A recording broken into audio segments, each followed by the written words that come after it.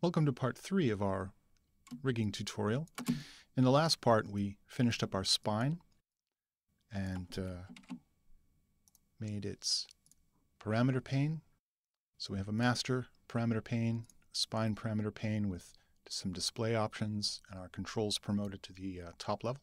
In this video we'll be doing the neck and head as well as the eyes. Uh, and so our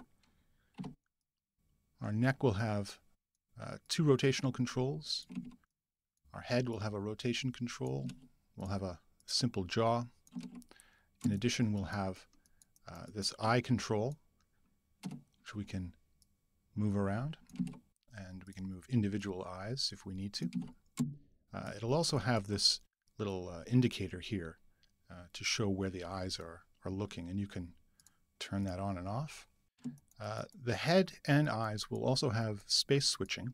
So right now, if I rotate the neck, you can see that the head follows. But if I come over here, I can adjust this head follow parameter.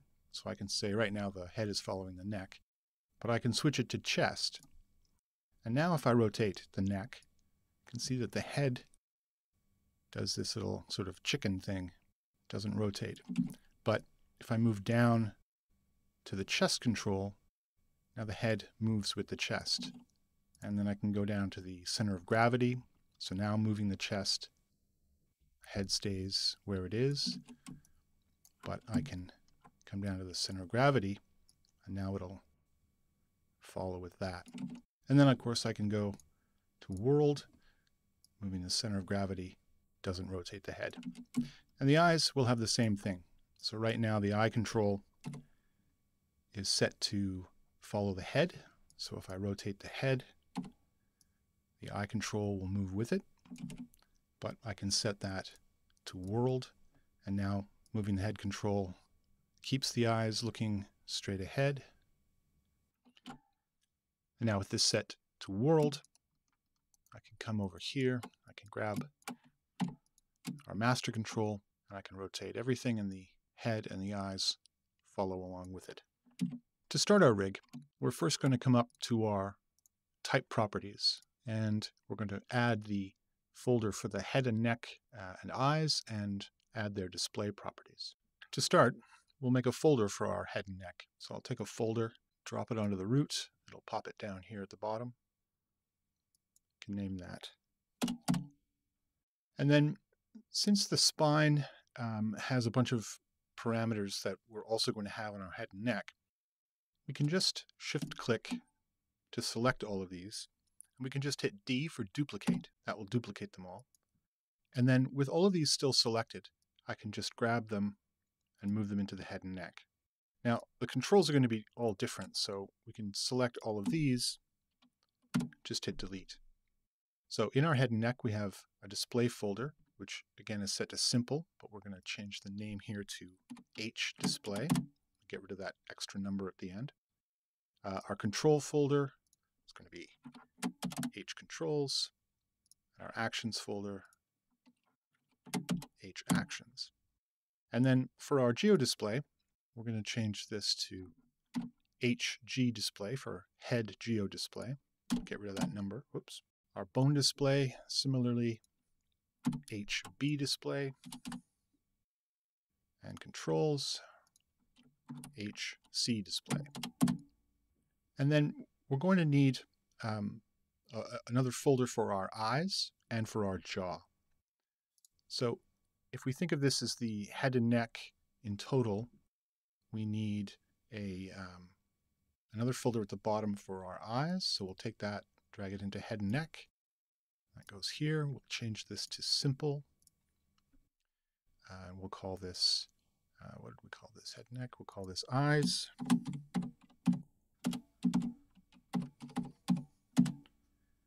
And then we need one for the jaw. So again, drop that in there. Jaw. And then our eyes also need some display controls. Uh, because we need to control the uh, uh, visibility of the eye controls themselves. We need a uh, control for the eye follow, whether it's following the head or whether it's following the world. We need a display control for our eye line. Um, and we could also have a control for the display of the eyeball proxies. So we'll take all three of these, duplicate them, drop these into our eyes, change this to EG display for eye geo display. Uh, we don't have, um, we're not going to have a toggle for our bone display. There's no real point in seeing those. Uh, so we'll just get rid of this. Our controls display will change to EC display. And then we need one for eyes follow. So we'll select one of these and duplicate it. And we'll call this E follow. Call this eyes follow. And then we need a control for the eye line. So we'll take eyes follow, we'll duplicate that. Call this um, eye, eye line. And of course, I always forget something. And in this case, that's the jaw control. So we'll select our eyes control, duplicate it, drop it into jaw,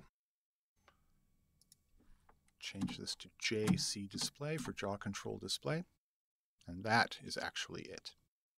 And something that I probably should have pointed out in the last video, and I'll, I'll try to point out throughout these videos, is that when you're editing your um, operator type properties or you're making changes inside your HDA, uh, and then you save your HIP file, what you're saving is sort of a, a temporary edit to your HDA uh, because the HDA exists in, in two states.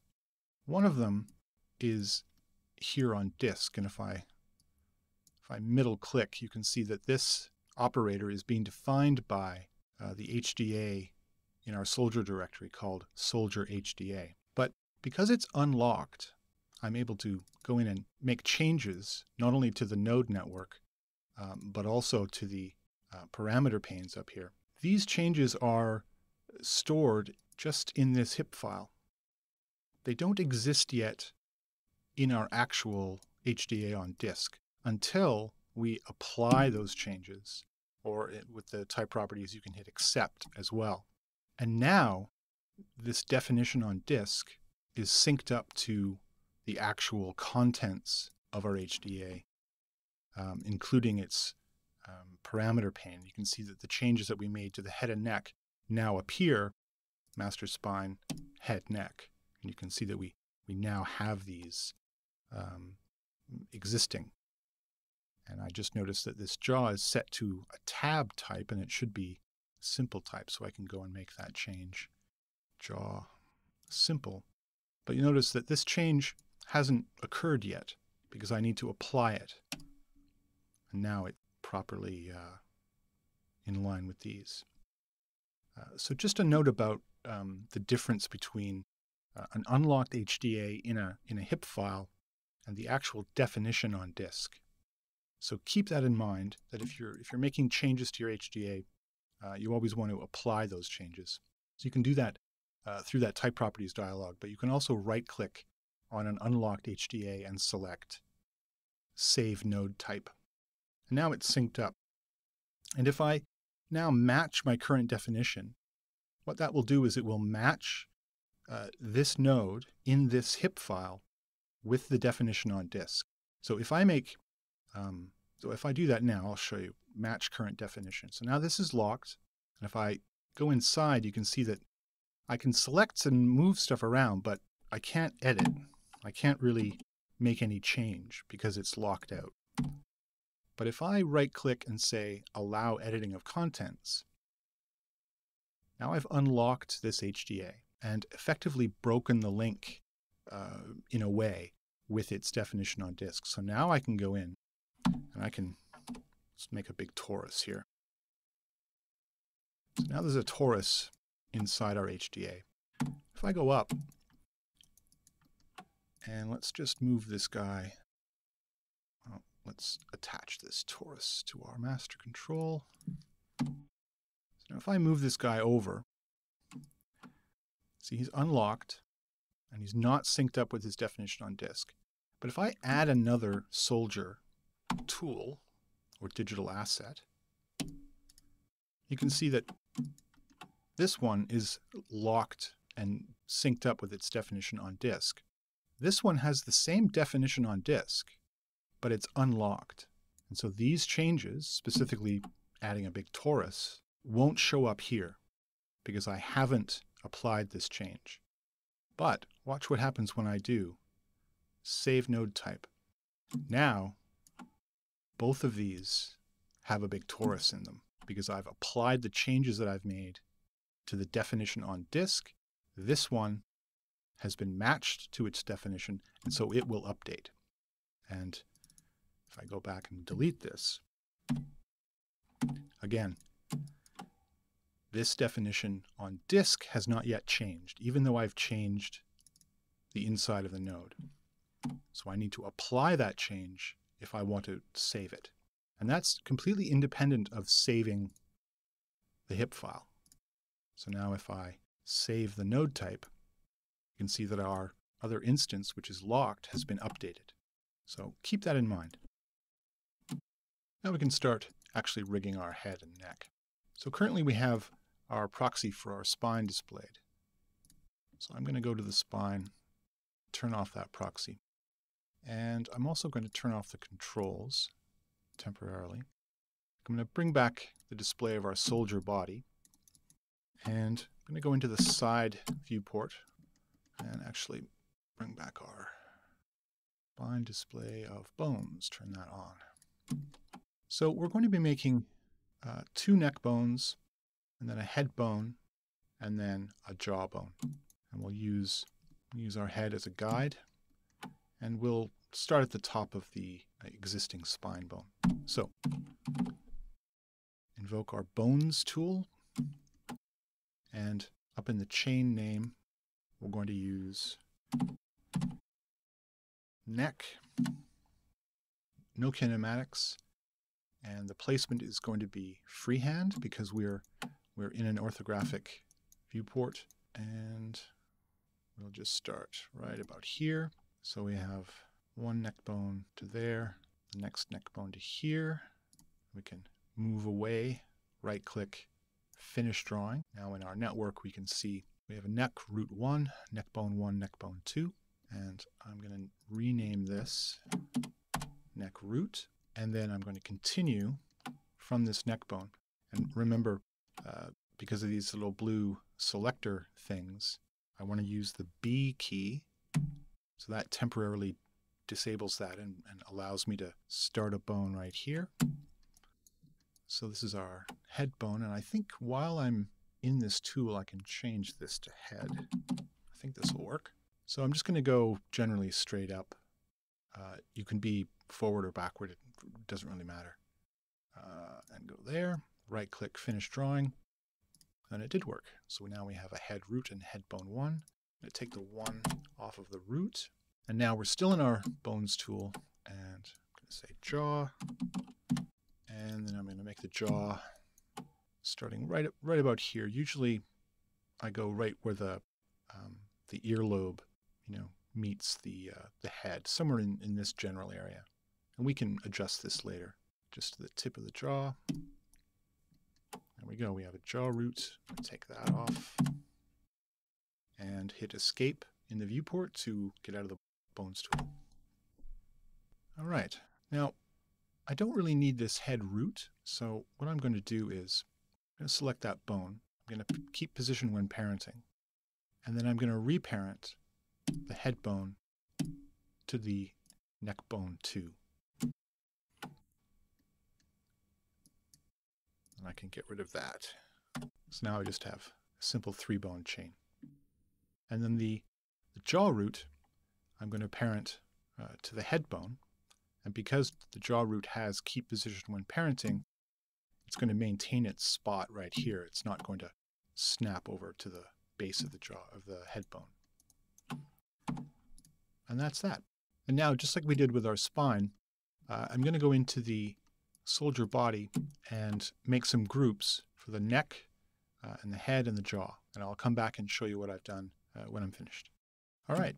Um, what I did was, uh, just like with the spine, um, I made uh, a geometry object for each of the bones. Uh, I colored them purple and gave them a name that makes sense for, um, for this rig. So for neck bone 1, I made uh, neck 0 proxy. I could have done neck 1 proxy and next neck 2 proxy, but in this case I just started with 0 for some reason. Uh, and inside that, uh, our object merge, again, I went out and found the soldier body, and then I specified the group that I made. So if we go over to the soldier body, you can see that here were our spine groups that we made. Um, and then I made neck groups. So neck one, neck two, I made a group for the jaw, and then the rest is for the head. And then with this guy uh, displayed, that will allow these um, object merge uh, SOPs to be able to, to see all of those groups. So in this case, I just selected neck one. Then I put an out node, and then I'm going to control and click to lock it. And again, we'll deal with this in a better way um, later on. But now I can just go in, lock that one, lock that one, lock our jaw. And now if I go up here and I turn off the display of that original soldier mesh. Oh, wait a minute. What have I done? Something's wrong here. Oh, there's our jaw. Lock that again. And what is this guy? There we go. So when you're uh, object merging and locking, it's easy to accidentally lock one of them and then go and change your object merge. But of course it won't show up because you have this locked. So just unlock it, make sure your object merge is what you want it to be, and then just relock that node. Now we go up. And now, if I grab these three bones and just rotate them, you can see that we have proxy geometry, just like our spine. Uh, and so next we'll make our controls. Before we make our controls, this is a, an opportune time to test out our lock all shelf button that we made, uh, because each of these proxy objects has a full transform, but uh, we don't want this stuff to transform at all. So I'm going to select all four of these guys. I'm going to come up to my lock all shelf tool and click lock all. And you can see for each one of these, it's gone through and just locked all these parameters. So I don't have to do that by hand. So awesome. The controls for our neck, head, and jaw uh, are just going to be simple rotational controls. And they're going to um, be at the root of each of these bones. So for this, we're going to use our FK Control Shelf tool. And so we're going to select neck bone 1. FK Control is going to bring up a dialog asking us for a prefix. Prefix in this case is auto-filled to be the selected object. And this is fine. So I'm going to hit OK. That's going to give me three nodes. Bring these out a little bit. So we've got three nulls that are parented to each other. The first is an offset, which is empty because we don't need to see anything. Uh, and this offset is going to uh, be the location of this control. This next one is called auto, and again, it's empty. And we'll use this auto um, not all the time, and in this case, not for our neck and head, but for our fingers and things like that. Uh, we'll use it to, to populate these uh, transforms with um, uh, expressions, things like curling of the fingers and fanning of the fingers. We'll do that stuff in this auto node. And that will free up this actual control for uh, animator interaction. And so this is a, an actual null that has a control object in, or SOP inside. Uh, it's colored green, it's selectable, and it's displayed. So right now this is positioned right at the root of our neck one bone. That's where we want. It's really big right now, but we'll fix that in a second. But this, uh, these three nodes can be thought of as a single unit, a little control unit.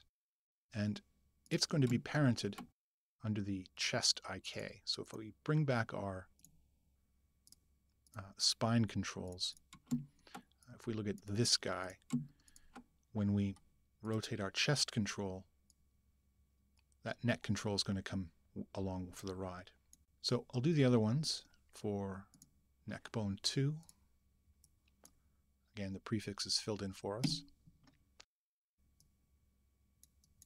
Oops. Head bone.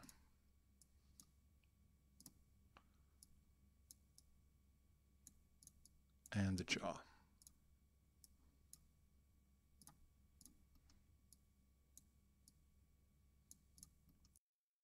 Now we have these three little sets of controls. And uh, we're just going to be parenting them in order because their positions have been set by our shelf tool to be at the root of each of the successive bones. So neck bone 2 offset is going to be a child of neck bone 1 control. Head bone offset is going to be a child of neck bone 2 control. And the jawbone offset is going to be a child of the head bone control. So let's just arrange these a little bit better. If you select some nodes and then with your mouse over one of them, you can use the A key and you'll get this little little grid type thing. And if you drag down, that'll just align these nodes nicely. So I can, whoops, want to make sure you're selecting the right stuff. So with those selected, these selected, now they're nicely aligned. So I'm going to grab all three of our controls, and you can see that they're defaulting to a, a one unit uh, size.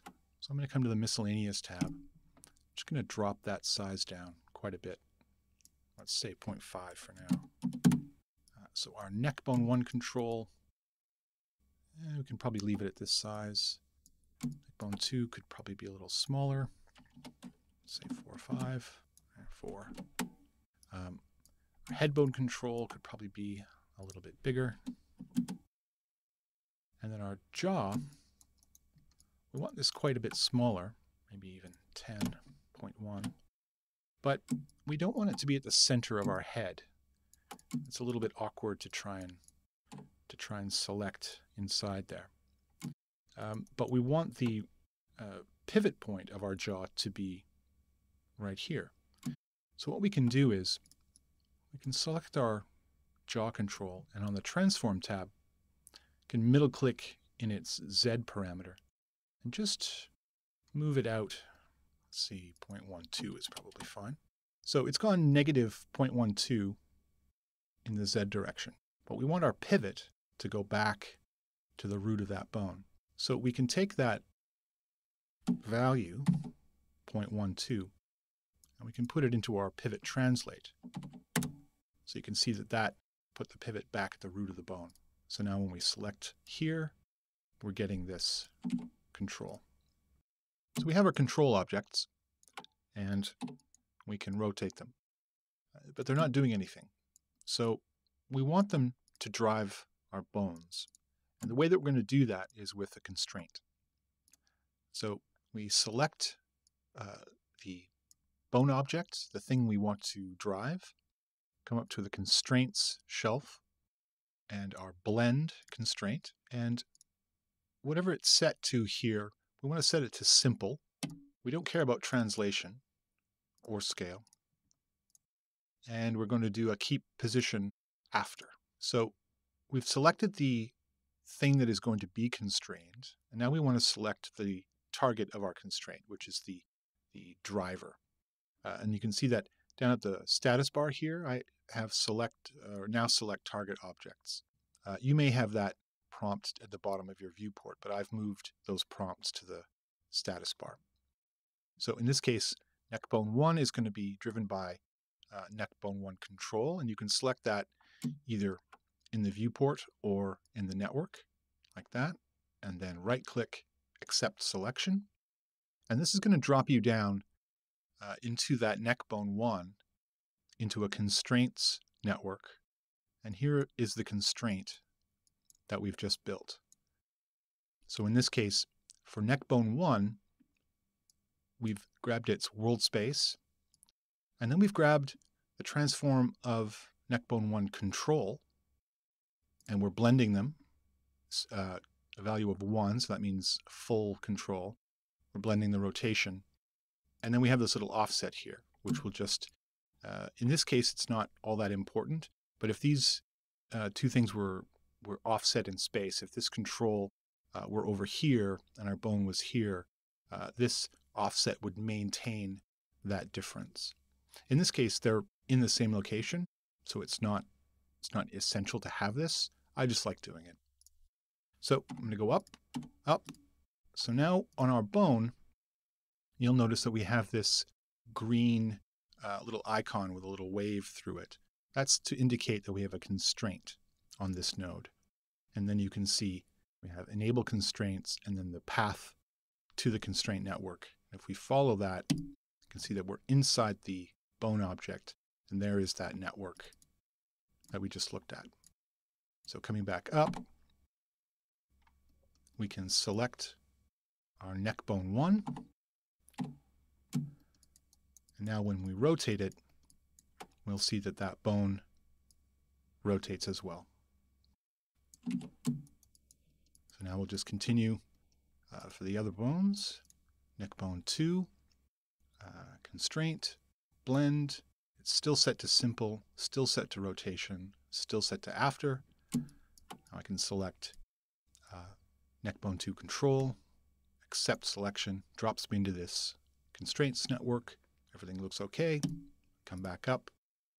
Head bone, constraint, blend. Everything is the same. Select the head bone control, accept selection, pops me into this network. Everything looks fine. Back up to soldier. Now I can do jawbone.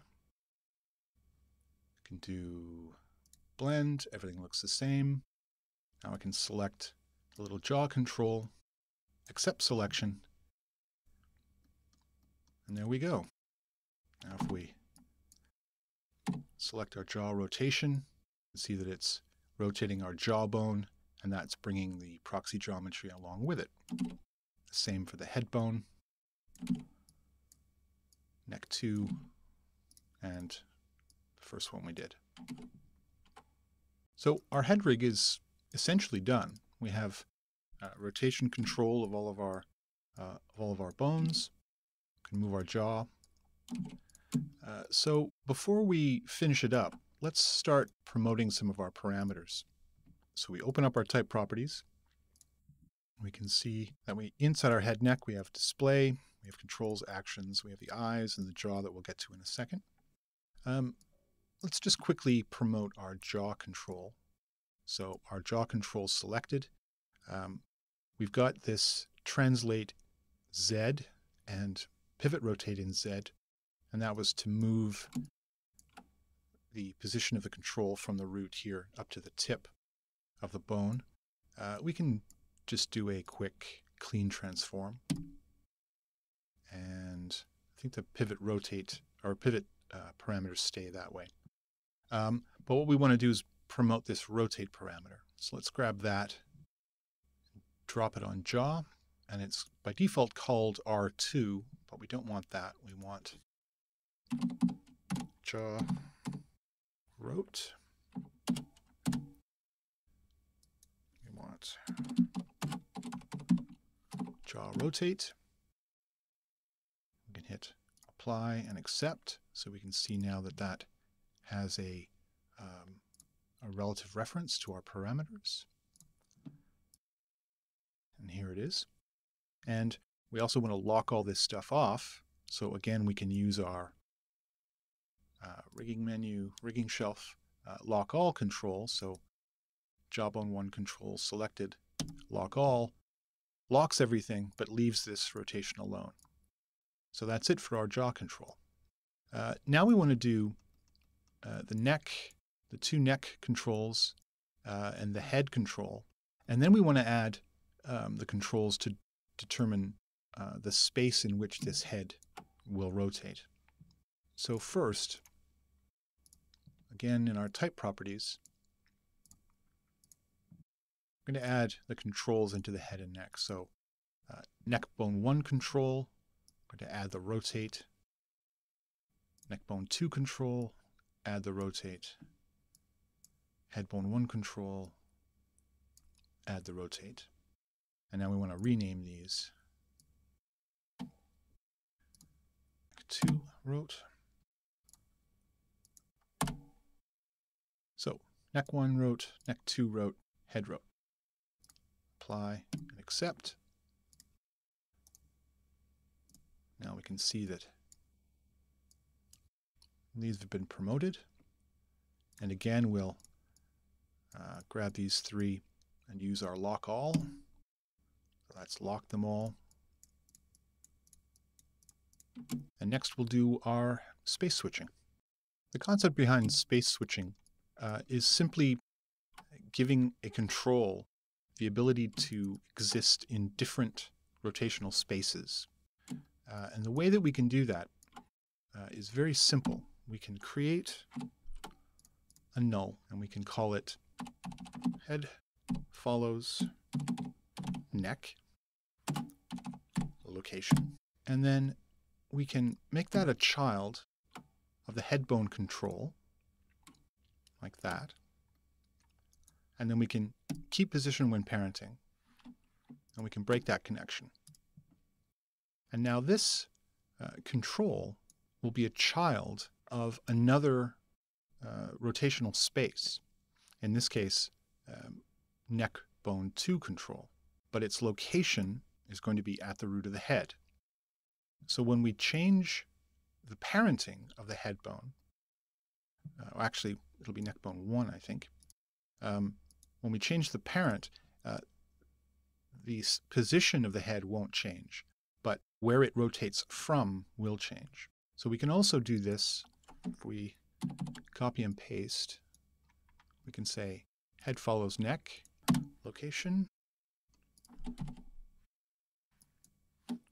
copy paste, head follows center of gravity, paste again, head follows world location. Now with these locations defined, we can parent them uh, to their respective uh, rotations. So head follows neck location. It's going to follow uh, neck bone 1. Head follow chest location is going to follow chest control, chest IK control, I should say. Um, head follows center of gravity location is going to be child of the cog and head follows world is going to be a child of the master control. Now we can take these four, we can turn off their selectability, turn off their visibility, and just kind of move them over here a little bit. And now what we want to do is we want to drive the head bone one auto. And we're going to use, again, a constraint for that. But this time, we're not going to use the blend constraint. We're going to use the parent blend constraint. So you can click Parent Blend, and again at the uh, status bar, yours again might be at the bottom of the viewport, but mine says select, ob select object to create parent blend constraint. So that object is headbone 1 auto. So I'm going to select that and in the viewport uh, accept selection or you can use enter. And now it says now select new parent objects. So I'm going to select head follows neck, follows chest, follows cog, follows world. I'm going to right click and accept. And that dumps me uh, into our head bone 1 auto into the constraints network that's been built for us. And this is very much like the other constraint um, with just some slight differences. So again, we're getting the world space of our constrained object. We're getting its parent space of the constrained object. So that's the actual parent of the constrained object. Then we're getting the locations of the head follows neck location, co- or chest uh, location, cog, and world. And all of these are being fed into a blend. And right now they're all set to one, but we'll change that in a second. And then the result of that is sent out as the transform of that object. So we don't want all of these to be on at the same time, and we certainly don't want to have to make our animator come all the way into this network and, and mess around with this stuff. So we're going to drive these with an, a simple expression. So if I open up my parameter pane for the, for the head and neck, you can see we have this head space control. And this is going to send a number out. So if it's set to neck, the number is going to be 0. Chest is going to be 1. Cog is going to be 2. World is going to be 3. So we can use uh, an evaluation of that to determine what these should be. So the easy way to set that up is to take the headspace parameter, just drag it into this first, uh, the second slot here. The first slot is for our network parent, and the next slot is for the neck. And right now this headspace is set to neck. So I'm going to drag that and drop the relative channel reference right here. And we can see that this blend is being determined by the value that's coming back from this parameter. So if I toggle this to its evaluation mode, you have a zero because that's zero. But if I change this to world, you can see that that is now a three. So how does that help us? Well, if we change this back, what we want to do is not simply evaluate this. What we want to do is get this value and then make a decision based on what that value is. So I'm going to extend this out a little bit. What we can do is write a very simple expression. If, open parentheses. So if this value, evaluated from the parameter pane, is equal to, and equal to here is double equals. If it is equal to zero, which is right now what our neck value is. So if this is equal to zero, then the value that this parameter should now have is 1. Otherwise, if it is anything but 0, this parameter should be 0. We can end the, the if statement with that parentheses. So again, if headspace, which is this guy here, is equal to 0 and only 0, then this entire parameter should evaluate to 1. If it's something other than 0, this entire parameter should evaluate to 0. So now I can take that, and copy it. But if we go back to its um, evaluation mode, we can see that this parameter is sending the value of 0 to anyone who's listening. And this guy's hearing that putting that value here, comparing it to this 0 and saying, yep, they're equal. So this parameter should be 1. And we can see that it is, in fact, 1. But if I change it to chest, this is a 1 that is being sent from this headspace parameter. So 1 is not equal to 0. So this parameter is going to be 0. So now we can use that for all of these. So again, I can take this, copy it, put it here. And this one is for our chest. So it's actually a 1 that is being sent by this parameter. So if headspace equals 1, then this should be 1, otherwise 0. And here, this should be compared to the value of 2, because that's 0, 1, 2, cog. And finally, the world is a 3. So now, if 3 is being sent by headspace, these should be 0, and they are, and this one should be 1. And so that's swapping the parent between these four um, objects. And we can test that. If we go up and up again.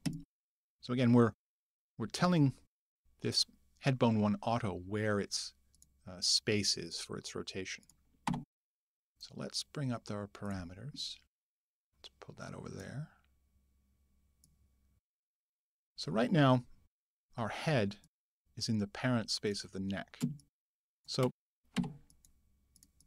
I can rotate my head independently. This guy is rotating, but it's not rotating the head. You can see that the head is keeping straight. But if I go down to neck 1, and rotate it, you can see that the head is rotating with neck 1. If I go down to the chest, it's also rotating, but it's not rotating because its parent is the chest. It's rotating because the neck is a direct parent or a direct child of the chest.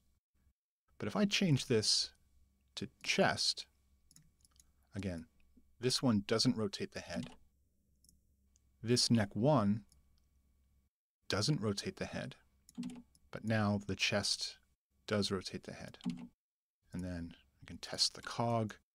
So with if the cog um, is our parent of our head rotation, now rotating the chest does not rotate the head, but our cog does. And if we go down to the world, our chest again doesn't rotate the head, but it does rotate with the world, and we're, something's wrong there. I'll fix that in a second.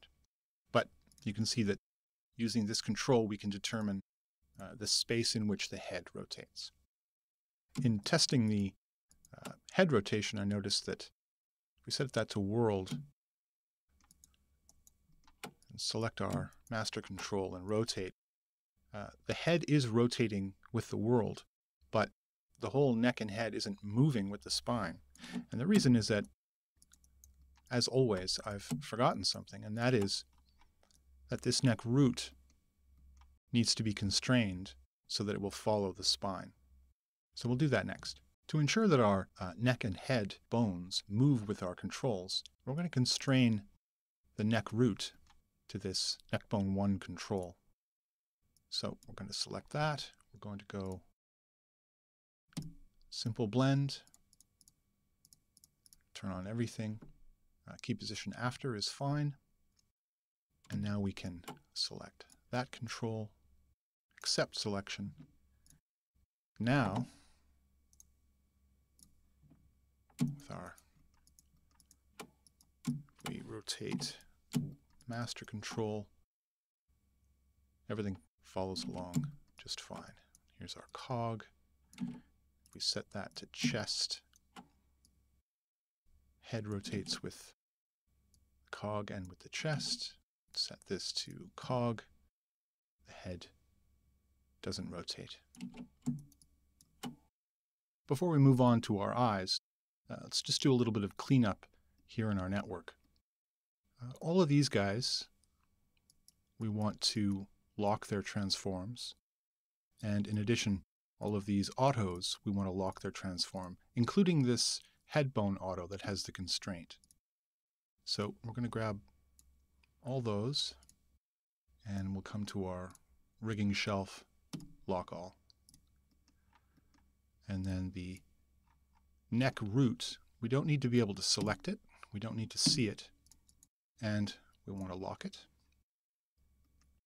Let's just see our jaw root. Don't need to see that or select it. And we want to lock it. And all of these, we don't need to see them or select them. And we also want to lock them. So there is our neck and head rig done. And next we'll move on uh, to the eyes. Our eye rig is fairly straightforward. We're going to have a bone for each eye, and then parented under that bone is going to be a piece of proxy geometry. And then each of those bones is going to be constrained with a look at constraint uh, to one of these uh, little eye look at nulls. And then these look at nulls are going to be the children of a master control to move both eyes around at the same time. This master control will also have a uh, an eyes follow parameter. So in this case, it's following the head. So if I rotate the head, that look at will follow. Or I can switch it to world, in which case the eyes will remain looking at that look at control no matter where I put the head. You can get this kind of thing going on. To start, I've gone in and um, made groups of the eyes. And actually, to be honest, I stole these eyes from our test geometry Tommy character. That's why it's got some textures on them. And what we're going to do is uh, snap a null with a bone uh, to the center of this left eye. So to start, I've uh, used the same technique that we did with the jaw and the rest of the head uh, and created a left eye proxy and a right eye proxy, locked off their controls. And inside, uh, again, object merged, locked. And just here on the left eye, I've added a sphere with the object merge as its input. It's just a primitive sphere. And what that will do is the dimensions of the sphere will be inherited from the, the size of whatever's coming in. Uh, so now we have this sphere uh, centered right on the eye geometry. And now if I go up to the object level, I can throw down a null. We can use this centroid expression um, so in this case, I'm asking for the centroid of what object, the left eye proxy, and then I'm looking for the dimension in x. And if I put that in, it'll give me this little value. So now this null, which is currently down there by the origin, has shifted over that amount.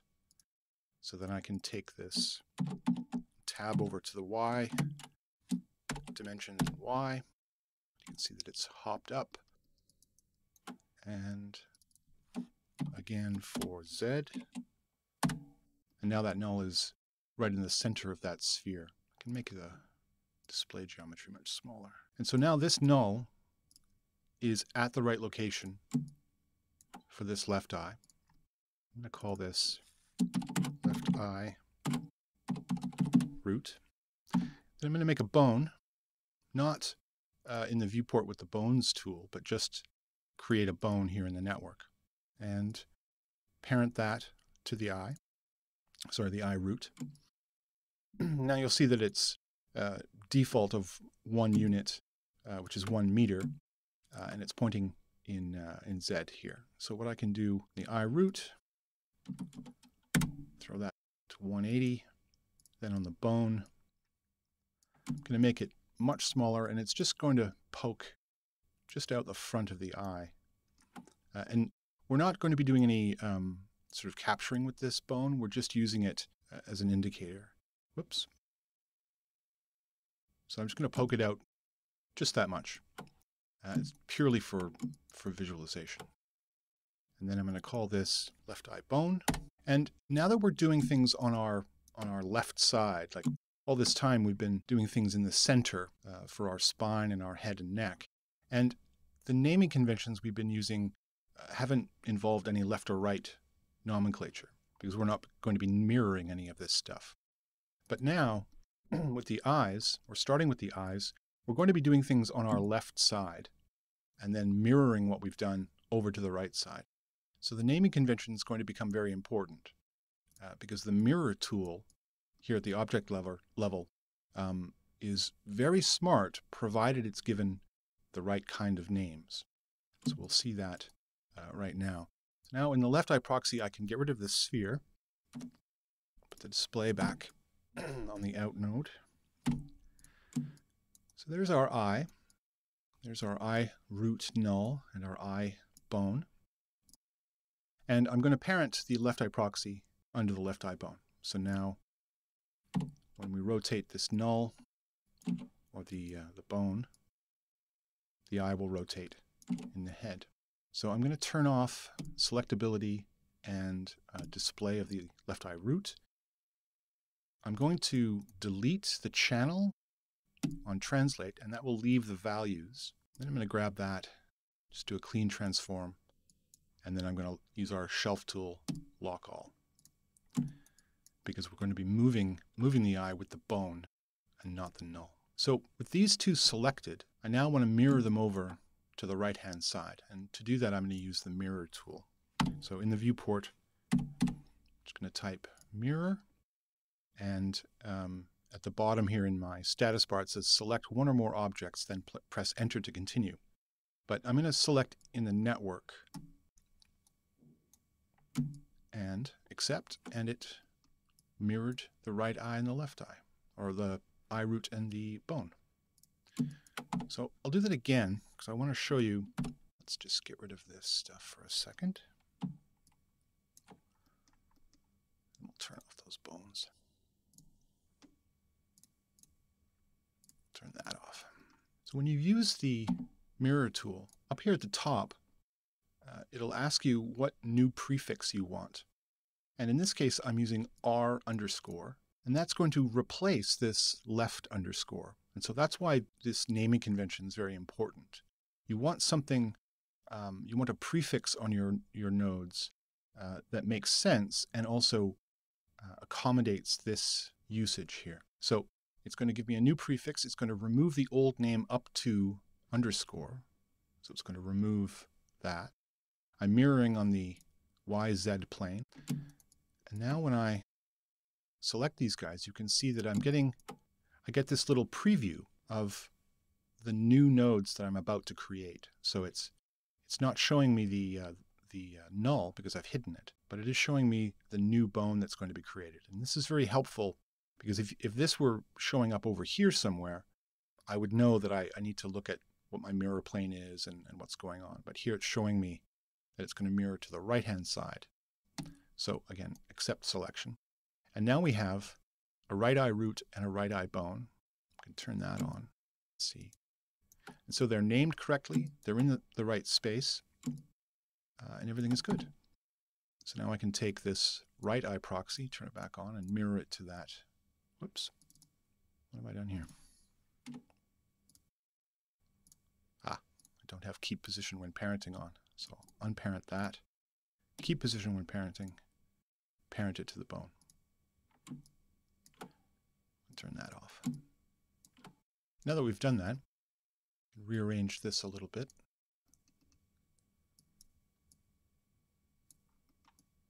And we're going to parent both of these roots uh, to the head bone. So we can select both, parent to the head bone, whoops, keep position when parenting. We can turn this back on. So now, when we rotate our head, our eyes are going to follow.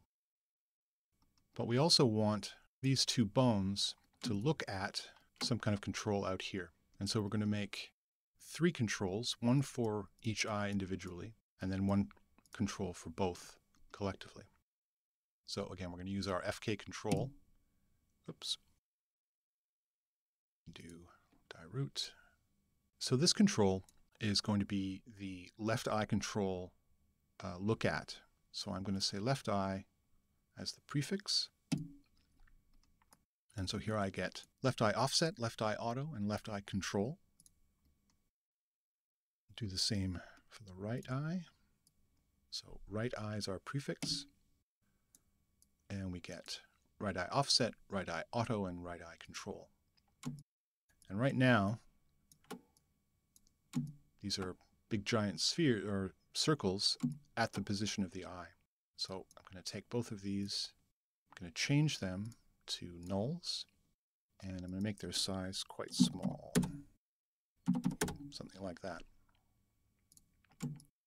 So right now these are at the position of the eye, but we want them to be somewhere out here, and this is really up to you and, and your character.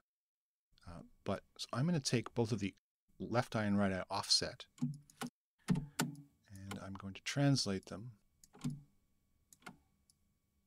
yeah, something like that is fine. Uh, it really doesn't matter. Um, you don't want to put them out to the left or right. You just want to move them out in Z. And whatever you, you think is, is good for your character. And so with these two selected, I'm going to clean that transform. So that's the position of our eyes. Um, if we had any uh, constraints or scripts or something we could put on, on the auto controls, and then the right eye control and left eye control um, are going to be for our individual animation. So now we need a third control, and that will be a parent of both of these. So in this case, I'm just going to take this right eye offset just to give me something to make a control with. And this one is going to be called eyes. Now I can click that. So now I get an eyes plural offset, eyes auto and eyes control. Take that and put it up here. And right now it's centered on that right eye offset because that's the one that I had selected. But we actually want it to be dead center in between the two of these. So I'm going to take this offset control and I'm going to go to the, its, its pre-transform here and say extract pre-transform. So you can see this is the, the location that it needs to be, to be here. But I want it to be 0 in x. So that places it right dead center. And then the control itself, I'm going to say planes, and it's on the xy plane, and then I'm just going to make it small like that. Use the display scale to do that, not the uh, transform scale. So now I have a little sort of box thing that the animator can grab, and that will move both of these. So with right eye offset, keep position when parenting, left eye offset, keep position when parenting. And take both of these, make them a child of the eyes control. So now when I select that, I move both of these around. And actually, before I do that, I'll cut that. Let's just fix this uh, orientation. Extract that, retransform, 180, clean that transform. So now this is oriented properly. Parent those to that. So now this guy is going to move both of those individual controls. So now what we want to do is we want to constrain the right eye and the left eye to their respective individual controls. And we'll do that uh, with a constraint. So left eye bone, go to our constraints. We're going to use the look at constraint. So when I, uh, when I click that, it, it knows that I had selected the left eye bone. So now in the status bar, it says, now select look at object, if any. And in this case, the look at object is that guy. I'm going to hit accept selection. Now I'm prompted to select a look up object, if any, and press enter. Don't have a look up object, so I'm just going to press enter. Now it's given me uh, a simple look at constraint. So now if I go up and up, we can see that that bone has a constraint on it. And if I move the left eye control, you can watch this left eye. So that left eye now moves. And it will move when I drag both of these. So we'll do the same to the right eye. Select the bone, select the look at, select the look at target, enter to accept, enter to accept. And now, whoops, got a little reversal of our eye. We can go into our constraint and we can say Z positive. And now both of these eyes follow along. We'll take this left eye control and we'll leave it as green. The right eye we'll make red, just so we can distinguish them here. And this guy will make blue. It's nice to differentiate your left and right with colors and then have another color for uh, sort of more central things. We can do that later to our spine and, and head. So next, we'll do the space switching for this control. Just as we did with our head control, uh, when we put a constraint on the auto null, uh, we'll do the same for our eyes auto here. First, we're going to make a couple of nulls. We're going to call this, and I can alt click and drag to create a new one. Eyes follow world location. Right now these two are down here at the origin.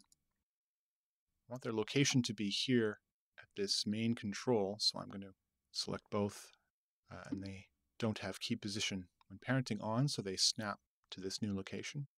Now, both selected, I'm going to turn on keep position when parenting, and I can break that connection.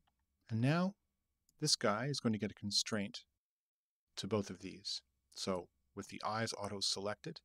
I'm going to go to my constraints shelf, parent blend, simple, full transform, key position, and down the status bar it's saying select object to create parent blend constraint. So that's this guy. I can accept. Now select new parent objects. So that's the eyes follow head location, eyes follow world location, right click, accept selection.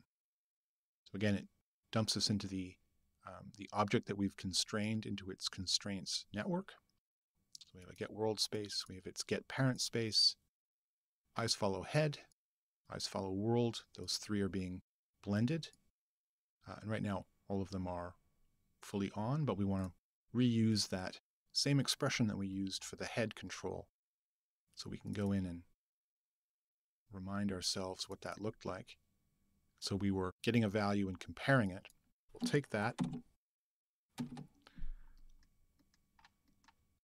We'll reuse it here on this blend. Uh, and this time, we want to use the eyes follow parameter, which we should actually change the, uh, the wording here. We'll go back and fix that. Uh, but for now, we can still use this parameter. So I can paste that expression in. So now it's still looking at head space, but now if I mouse over eyes follow, you'll see E follow. So I want to change this to E follow. So if eyes follow is equal to zero, which would be uh, that one, uh, then it should be one, otherwise zero. And otherwise is, is one, otherwise zero. So this works if we, right now our eyes follow is on one. So it does work. If we change that to zero, they switch. Um, but our wording here is wrong. So let's change that real quick. We go to our type properties, go down to our eyes. We have our eyes follow parameter, uh, and we're using a menu, but um, our token and label are wrong. So our token's okay, 0 and 1, but our label is incorrect. So 0 should be head, and 1 should be world. Hit accept. Um, and if you get this little warning, this is essentially saying that there's a path to, to a node that's unresolved. You can just hit OK, but keep keep a, an eye on this. So we're going to go down into constraint path constraints and see what's going on. And I think, I think it might be this is wrong. What does that say? E follow. It should be right. To test that, I'm going to grab this eyes follow parameter and drop it into this blend zero just to see what I get. So relative reference. Yeah, so that should be fine. So now I'm going to break this delete channel that back to 1. I think we're okay. So if we look at the values we're getting here, if we're on head, 1. If we're on world, switches. I should actually change the default of this as well. So we'll go down to eyes, eyes follow.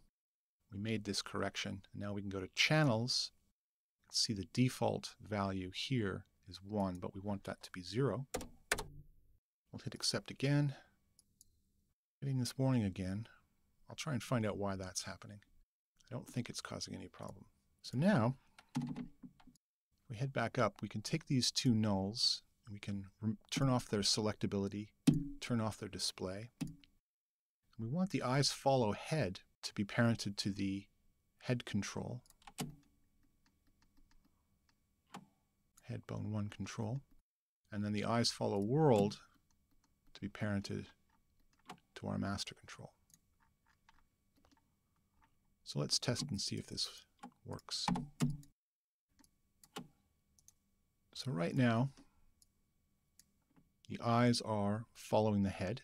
So if I rotate the head, this blue control should move, and that will move the two inner controls. And sure enough, it does work. Now if I change this to world, so nothing changes, but when I rotate the head, you can see that the eyes, ooh, looking over there, ooh, looking over there. You get this sort of creepy look. So that works fine. We can go in and select these bones. We can turn off their selectability and their visibility. These roots have been locked off. That's good. Proxies are locked off. Eye offset. Uh, we can leave this stuff alone or we could clean the transform. Either way, we're going to lock it. Go back to our rigging shelf, lock all. Our eyes auto. Again, we're going to lock that. Eyes control, we need to promote uh, the transform of this. Uh, right eye offset should be locked. Eyes auto should be locked. And the, oops, the right eye control, we're going to promote the translate and the translate on the left. So let's do that now. Go back to our type properties. So here, head, neck, we have eyes. So now we have these display options. So we need a little folder for our controls. So we'll add that. This. Again, that's a simple tab. I'm going to call that controls.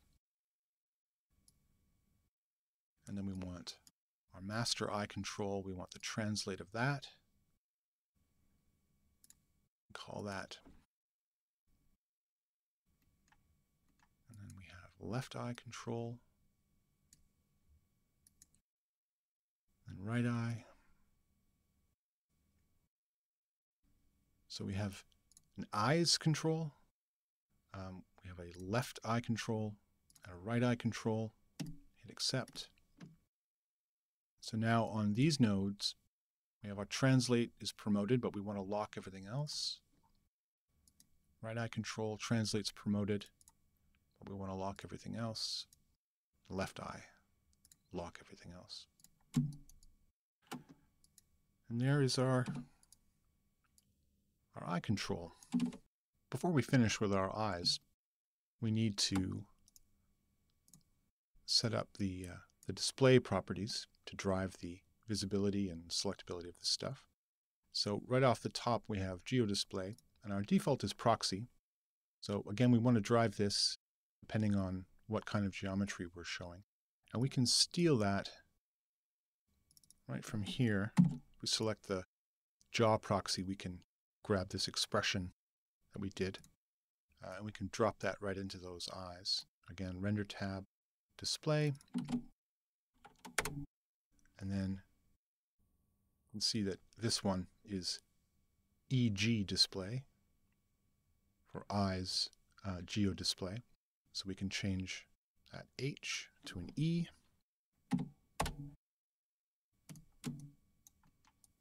And now we can uh, turn the geo display off for our eyes, proxy. And then if we have um, uh, high resolution eyes, maybe for our our deformed geometry, we can have the proxy geometry disappear. So proxy by default. And then we have the controls display off and on. Uh, we can grab all three of these, go to the render tab, turn on the display parameter, drag the controls display, drop it right in there, relative channel reference. So now we have that guy. And we can turn all of those off or on. Uh, we've done our eyes follow. Uh, next we'll do uh, this eye line. Uh, we'll build the geometry that will make that little dotted line and then set up the control to turn that off and on. To build our eye line, we're going to measure the distance between the root of our eye and our little eye control. And then we're going to make a polygon line of that length. And then we're going to break it up so that even when this thing moves, that length will be recalculated and our, our line will update. So if we go inside of our left eye control, and I've turned on points so we can see what's going on a little bit better. What we want to do is we want to merge some new piece of geometry in with this control object. And then using this eyeline control, we're going to drive a switch. And we're going to switch between um, when the eyeline is off, and that should be the default. Let's just change that really quickly. Eyeline, channels, default is zero. So when the eyeline is off, this switch is going to use input 0. And we can hook this up right now. Relative channel reference. So the eyeline is off, the switch is 0. Eyeline is on, switch is 1. So we're going to switch between just using the regular control uh, SOP and whatever comes into this merge. And the merge is going to be the original control SOP plus the little line that we're going to make. So to make this line, I'm going to use, oops, we're going to object merge our uh, the point that is inside the null of our eye root. So in this case, that's going to be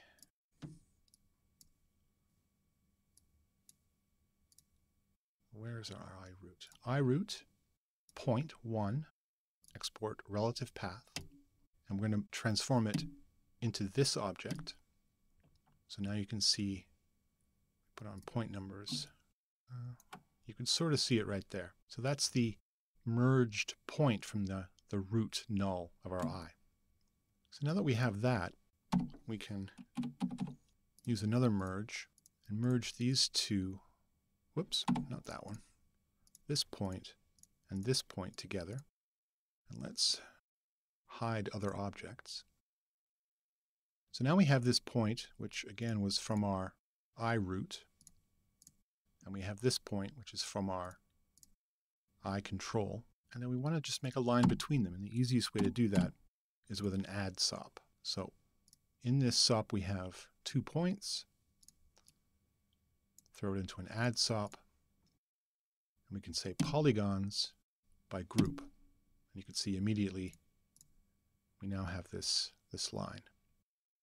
Now we're going to resample that line. And by default, um, you can see that the line's been resampled using a maximum segment length. But we're going to turn that off. We're going to turn on maximum segments. And uh, the difference here is that the, this length will accept a float value, but maximum segments is expecting um, an integer. So if we measure this, um, if we measure this curve, this line with um, with arc length, we're probably going to get a float. So we're going to have to probably multiply this up into uh, into an integer, or at least something that can be rounded to a, an integer. So we use the arc length expression just as we did with our spine. And the SOP we want is in this network, and it's that add 1, primitive 0, from 0 to 1. And then we're going to multiply it by, let's say, 30. And so now we get our segments. And if I turn on Ghost Other Objects, uh, this control here is we're measuring the distance between uh, this one and the eye. I'm going to move this master control and you'll see that as I do, the line increases its length and then also the segments increase. So the segments try and maintain their size no matter how long this curve is. So we're going to use that with another add SOP. And in this one, we're going to delete the geometry, but we're going to keep the points. So we had geometry from the add SOP, then we subdivided it uh, with the resample. So that gave us the right points. Now we want to get rid of those points and then make new polygons by going over to the polygon tab by group. But we're not going to use all points like we did in this first add. We're going to use groups of n points. And by default, that's set to 2, and that's exactly what we want. So now we have uh, a little dashed line that each of those dashes will maintain their size no matter how long that line becomes. And if you want these to be a little smaller, you can just multiply that arc length by a higher number. Oops, that's a really high number. Let's try 35. So that's a little smaller. Let's try 50.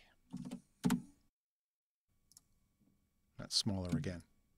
Uh, and this is this network is very fast, so you don't really have to worry about any kind of speed hit for this.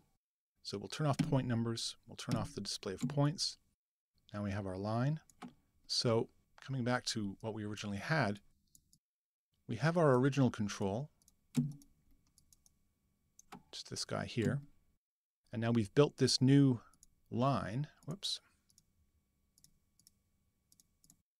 uh, using uh, the point in this control and the point coming from the eye root.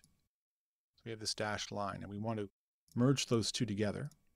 So now we have the null that has an attached line. And then we want to drive what to display with this switch. And as you can see, we have the eye line is off, eye line is on.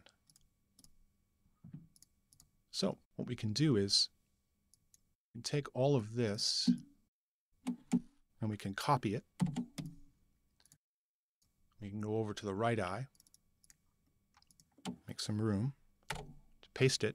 You can see that everything hooked up again because uh, the names of these SOPs in our right eye control are the same as they were in the left eye control. So everything found the things that it was hooked up to before.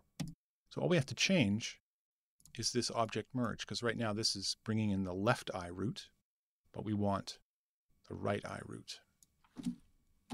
So right eye root, and our eye line is still driving this switch, so we can turn on and turn off. So if we go back up to the object level,